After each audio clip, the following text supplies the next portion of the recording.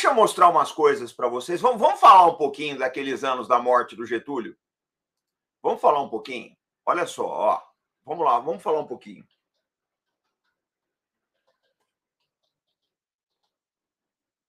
Aqui, ó.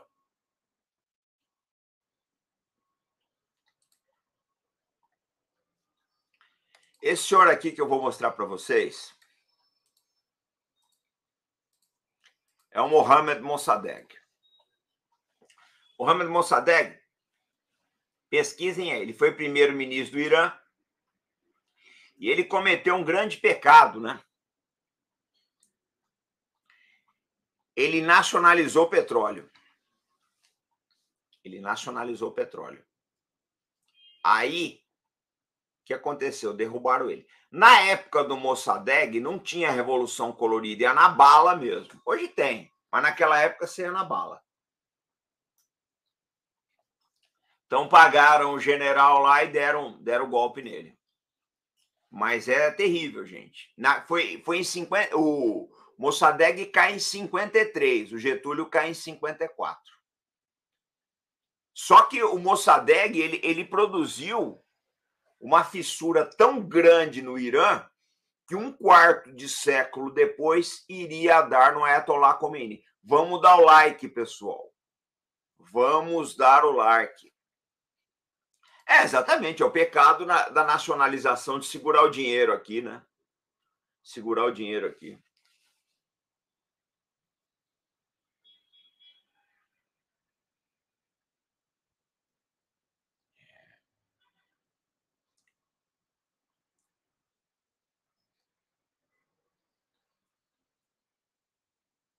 Ó, Cris comandante, parabéns pelos 400 mil. Estamos juntos há muito tempo. E vamos continuar juntos, se Deus quiser.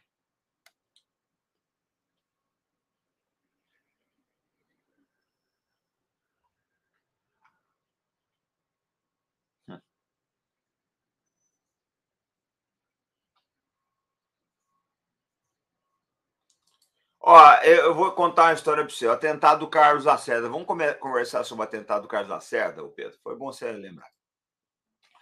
O Carlos Lacerda foi o seguinte: foi dia 5 de agosto de 1954. O Lacerda foi fazer um comício e ele descia o pau no Getúlio. E ele tinha uma escolta que era um major da aeronáutica chamado Rubem Vaz, que virou túnel agora no Rio de Janeiro. E ele ele estava voltando para casa, dois pistoleiros tentaram matar ele, acabaram acertando o Major Weiss. É a história oficial. Eu acho que, que eu morei no Rio de Janeiro, eu morava ali perto. E eu sempre passava lá na rua Toneleiro 180 e eu ficava olhando aquele prédio. Ficava olhando aquele prédio. Eu ficava olhando, às vezes eu ficava 10 minutos lá olhando, porque, poxa, passou história ali, gente. Ali foi um pedaço da história. Né? Ali ocorreu a história do Brasil. E as investigações foram andando, andando, andando, né? E apontavam para o Palácio do Catete. O Getúlio viu que era uma armação para derrubar ele, que a coisa estava armada para derrubar ele, e acabou se matando. Ele evitou uma guerra civil, tá, gente?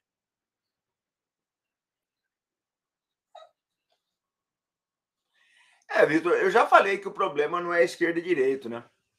Mas é, o pessoal vai ter que passar por isso, não adianta, né? Um dia as pessoas vão chegar nesse ponto. Agora, se tiver que passar por, por, pelas coisas ruins que a gente está tentando evitar, não há o que eu possa fazer.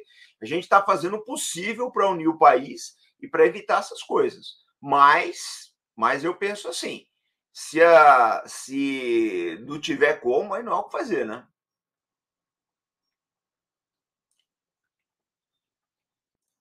É, Wagner, mas a gente também não pode esperar a perfeição das pessoas, né? Talvez se o Getúlio não fosse presidente, o Brasil tivesse rachado. Talvez não. Olha, gente, eu vou dizer uma coisa para vocês. Muito cuidado com as críticas que vocês fazem a personagem da história, porque a nós, no lugar deles, talvez tivéssemos feito igual ou pior. Igual ou pior. Eu ainda acho que nós vamos passar por muita coisa ruim por essa desunião nacional, mas não há o que eu possa fazer. Nós estamos tentando, nós tentamos, tentando unir o Brasil. É, eu vi lá o pessoal se manifestando na live do Fernando, mas eu acho que tinha bastante gente, foi bom. Deixa, gente, as pessoas que não querem unir o país, paciência. tudo na vida é uma relação de causa e consequência. Você faz uma coisa, as consequências vão vir, né?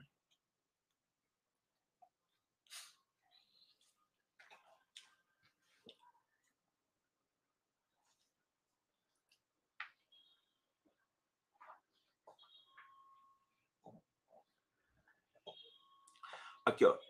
Tem um livro do, do uh, Conversations with the Crow, que fala que a, a CIA está por trás do assassinato desse primeiro-ministro. Não duvido, não.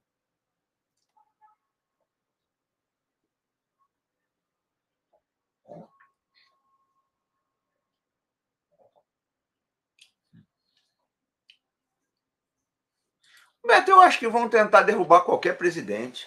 Quem quer que entre o ano que vem vai ter uma vida difícil. Porque, na verdade, o que se quer no Brasil, nós estamos no cenário ideal, né? A gente está com o jeito que o diabo gosta, né, gente? É o povo dividido, né?